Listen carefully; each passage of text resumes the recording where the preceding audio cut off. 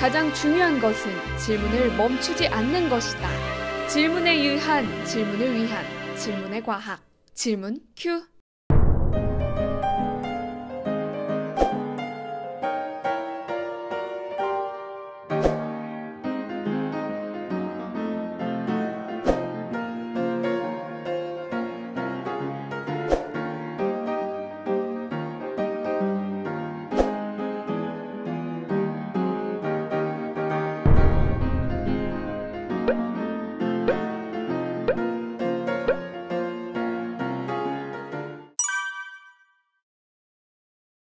그 드레스 색깔 논쟁은 저도 관심이 있어서 굉장히 좀 찾아봤는데 논문도 굉장히 많이 나왔어요. 그 관련해서 핵심은 뭐냐면요.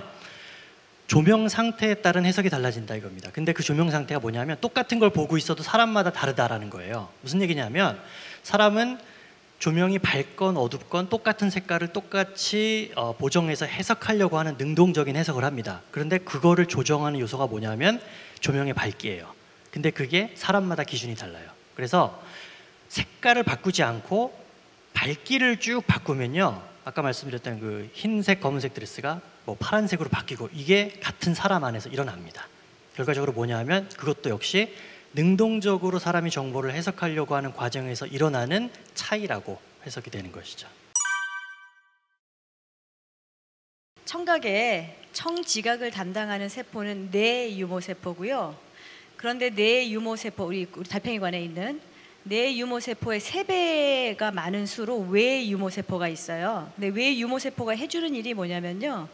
그 상위 명령을 받아가지고 뇌 유모 세포의 민감도를 조절해주는 역할을 하거든요. 근데 이제 외 유모 세포의 활성화가 이상하게 되는 질병들이 있어요. 그러면 어떤 일이 벌어지냐면 실제 소리가 들려오지 않았는데 얘네들이 막 떨어져요. 그러면 실제로 청감각이 일어납니다. 그러니까 그거는 착각이 아니에요.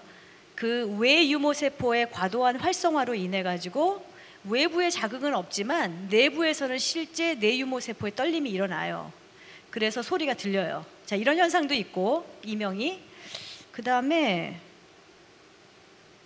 이명 중에 또 어떤 선상이 있냐 여러 가지 원인이 있어요 이명은 진짜 많은 원인인데 또 다른 원인 중에 어떤 게 있냐면 어떤 과도한 소리를 들어가지고 특정 주파수대의 소리를 듣는 그 뇌 유모 세포가 죽었어요. 여러분 청각 시스템은 매우 매우 민감해서 그 락 음악을 막 크게 들어도 죽고 폭탄 소리 크게 들어도 죽고 얼, 일찍 죽어요. 그다음에 마이신 같은 거 많이 써도 죽어요. 그게 가장 큰 원인들인데 그래서 이제 코클리아 임플란트를 하시는 분들이 많아지게 되는데 나이 들면 그 얘기를 꼭 해야 되는데 근데 어쨌든 그래서 세포 어떤 영역대를 담당하는 뇌 유모 세포가 죽으면은 뇌 안에서 아까 말씀드린 것처럼 아까 환상지 기억나시죠? 그 주변 그 주파수를 담당하는 애들이 침범해요. 그러면서 걔네들의 활동이 상대적으로 강해지면서 고주파수 주변에 있는 주파수 대에서 이명이 들리게 돼요. 자, 이런 여러 가지 메커니즘이 있기 때문에 이명이 있다고 해서 그게 반드시 한 개의 원인이 아니기 때문에 이거 굉장히 심각한 현상이라고 저도 알고 있는데 병원에 가셔가지고 어떤 원인인지 알아야 되고 이 이비인후과 의사들은 이거 굉장히 심각하게 생각하고 연구 많이 하고 계세요. 제가 요즘 이비인후과 의사들하고 얘기하면서 배운 거예요. 사실은 최근에. 약간만 구체적으로 또 말씀을 드리면 그 이제 콘서트 같은 데 가면 이제 헤, 그 헤어셀이 이제 손상이 된다고 이렇게 말씀을 하셨는데요. 왜 이제 공사장 주변을 지나가다 보면 요즘에는 이제 그 실제로 소음이 얼마나 나는지를 데시벨로 보고를 하는데 보통 한 90 정도 넘으면 손상이 되기 시작한다고 알려져 있거든요. 그래서 어, 수치를 보시고 이거는 넘는다 싶으면 좀 멀리 이렇게 돌아가시는 것이 네, 앱에, 나중에 이명. 현상을 네. 여러분 저, 전화 앱에 그 데시벨 재주는 앱이 있어요.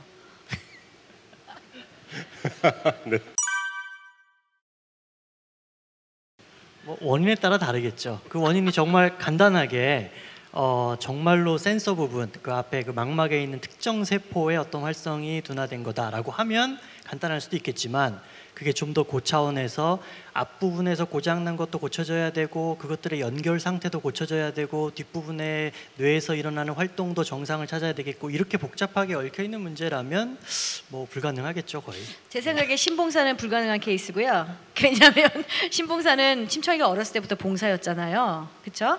그러니까 이분은 어떤 심리적인 원인에 의해서 갑자기 셧다운된 그런 케이스 아닌 것 같아요. 근데 가끔 여러분 영화나 소설 보면 실어증 같은 거는 큰 충격을 받으면 어느 날 갑자기 실어증이 됐다가 저는 주변에서 보진 않아서 이게 진짜 사실인지 모르겠는데 그 어떤 심리적인 갈등이나 이런 게 해소되면 또 갑작스럽게 낫기도 하고 이러잖아요. 그런 경우라면 가능할 것 같아요. 그 눈의 경우도 그 모든 머시너리는 다 정상인데 어떤 심리적인 충격을 받아가지고 셧다운된 어떤 상황이라면 그 문제가 해결되었을 때 또 기적적으로 그 올 것 같아요. 그러나 신봉사님 같은 경우는 어려서부터 굉장히 퇴행성으로 분명히 그 머시너리가 망가진 경우라고 저는 생각이 되고 그래서 심청전에서는 정말 기적이었던 것 같아요. 계속 발달을 하고 있거든요. 말씀을 하신 대로. 그래서 그 청소년기 24살까지도 전두엽 같은 경우는 계속 발전을 하고 있다고 알려져 있어요. 그래서 제 생각에는 제가 말씀드릴 수 있는 거는 어, 그 선교육은 별로 좋지 않은 것 같습니다. 그러니까 그 여러 가지 교육 프로그램이라든가 이런 것들이 그 뇌 발달 단계에 맞게 이제 어, 여러 연구를 통해서 정해진 것들이거든요. 그래서 지금 할 수 있는 거를 가르쳐야지 아주 효과적으로 배울 수 있지 그렇지 않으면은 좀 굉장히 사실 문제가 많이 생길 수 있다고 저는 생각을 하는데요. 사실 이제 우리나라 현실을 살펴보면 이 선행학습의 문제는 굉장히 심각한 것 같은데요. 그 부분에 있어서는 어, 그 뇌발달 단계에 맞는 학습을 하는 것이 저는 좋다고 생각을 하고 있습니다.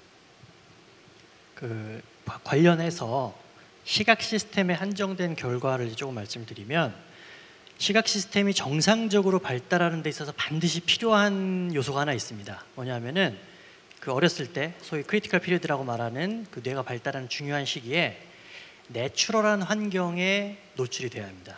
무슨 얘기냐면 여러 가지 실험들이 있는데 인공적인 구조를 가지는 예를 들어서 아주 샤프한 뭐 선이라든지 뭐 좀 인공적인 구조물에 계속 노출을 시켜서 성장을 시킨 그 고양이는 시각이 제대로 발달하지 못해요. 그래서 우리가 보통 natural movie, natural image라고 하는 것은 자연상에서 흔히 볼 수 있는 구조물들, 하늘이라든지 나무라든지 이런 구조물들을 말합니다. 놀랍게도 인공지능조차도 그러한 natural image를 주고서 학습을 시켰을 때 효율성이 제대로 나와요. 무슨 얘기냐면 제가 개인적으로 느낀 바는 요즘에 어린 친구들이 저만 해도 어렸을 때는 나가서 뛰어놀고 뭐 장난도 치고 그랬는데 너무 그냥 방 안에 갇혀가지고 교과서에 있는 것만 공부하고 심지어 컴퓨터 앞에 앉아갖고 계속 그냥 그 화면만 들여다보고 있는 경우가 너무 많은 것 같아요. 그러니까 뇌과학자 입장에서도 시각 시스템만 봐도 그게 정상적으로 발달할 수 없는 환경이라는 것은 확실합니다. 그러니까 어떻게 보면 어, 우리 어렸을 때로 돌아가서 정상적인 내추럴한 환경을 조성하고 그 아래에서 생활하는 게 제일 중요할 것 같습니다. 그 이제 유체 이탈 현상 같은 것도 사실은 예전에는 굉장히 이제 설명하기 힘든 현상이라고 이제 어, 얘기를 했었는데 요즘에는 이제 약간 오감이 일치하지 않은 정보를 주게 되면 그거를 해결하기 위해서 유체 이탈이라고 그러니까 예를 들자면 자기가 생각하기에 자기가 보는 시각적인 정보는 자기가 여기 있다고 생각하는데 청각적인 정보는 자기가 여기 있다고 생각이 들게 되면 두, 한 가지 방법밖에 없는 거잖아요. 자기가 유체 이탈을 해서 자기를 바라보고 있다고 해석하는 것이 가장 옳은 방법이잖아요. 그래서 요즘에 이제 가상현실 기법 같은 것들을 사용해서 실제로 어, 그렇게 느끼게 해줄 수 있거든요. 나는 여기 뭐 시각적으로는 여기 있다고 이제 얘기를 해주는데 청각적으로는 여기 있다고 얘기를 해주게 되면 내가 정말 유체 이탈하는 그런 느낌을 갖게 된다고 합니다. 그래서 자, 이거를 통해서 우리가 배울 수 있는 한 가지가 더 있는데요. 이게 과학의 과정이에요. 뭔가 설명할 수 없는 현상이 있으면 가장 쉬운 이거 저, 저 농담이 아니에요. 파르시모니스라는 이런 그 원리가 있어서 과학에서는 가장 상식적이고 납득할 수 있는 설명을 해서 해서 안 되면 그 다음으로 넘어가는 거예요. 그래서 이게 과학에 하시는 분들은 다 이렇게 스캡티컬하고 다 이렇게 그럴 거예요. 이렇게 나오게 됩니다. 그 유체 이탈 저 어렸을 때 해본 적 많아요. 다시 경험시켜 주세요.